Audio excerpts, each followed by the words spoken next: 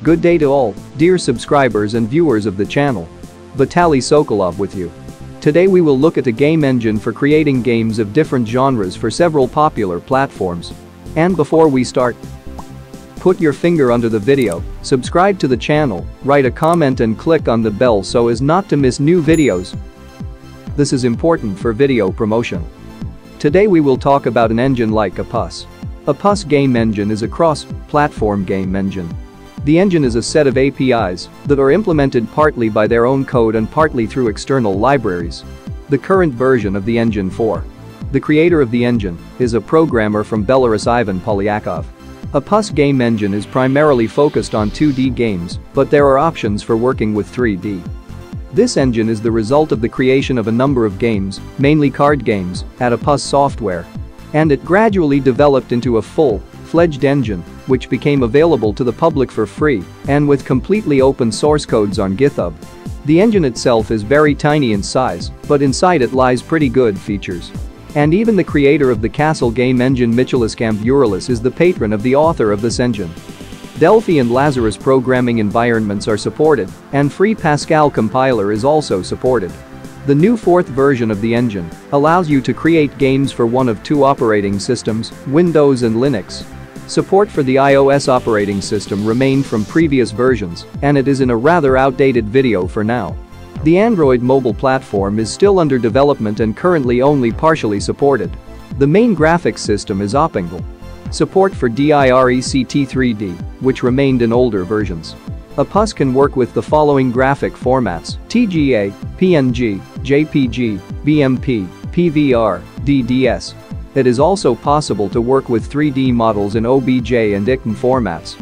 There is a technology for preloading images.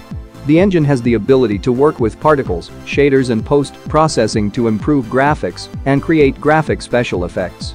For working with sound, there are the following libraries BASS, Emixer, only for Windows OS, libSDL, for all platforms, as well as native iOS and Android interfaces built in support for keyboard, mouse, gamepads and touch screens. As well as work with monitor modes. In the game engine, you can create individual scenes and work with them. Supports connection and work with external fonts, text and effects for it. It is also possible to create web-enabled applications. There are two implementations of the client-server protocol, UDP-based and HTTP-based. The engine has a developed UI system that can be used not only for games but also for any other applications, editors, utilities, etc. The following games are written on this engine, Star Madness Astral Tournament Spectromancer, available for Windows and iOS. It can be found on Steam, on the gaming website in the App Store Astral. Astral Heroes, available for Windows. The game is available on Steam and on the gaming site.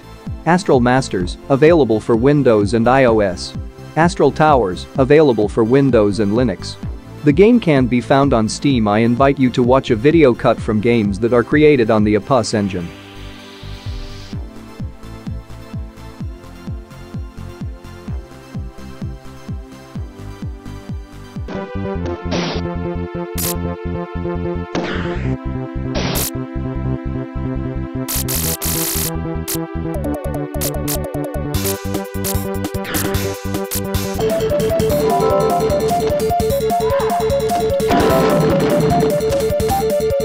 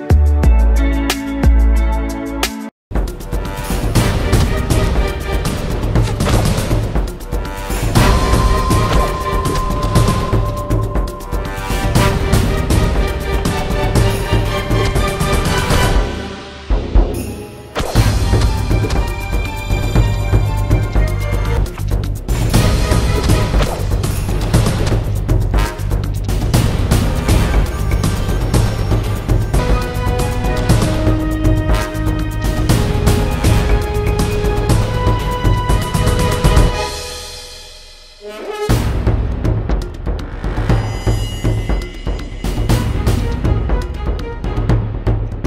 engine documentation is only available in English, but you can translate it using Google Translator.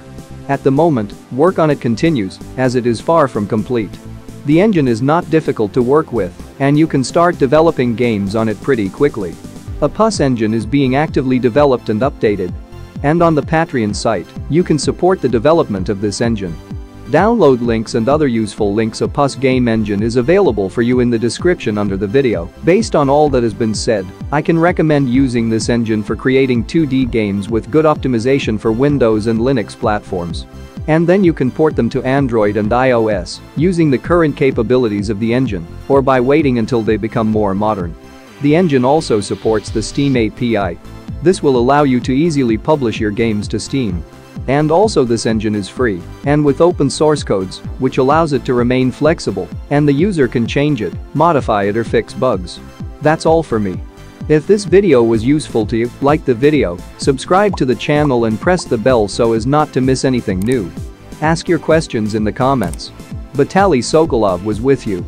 Good luck to you all in creating new games. See you in new videos, bye.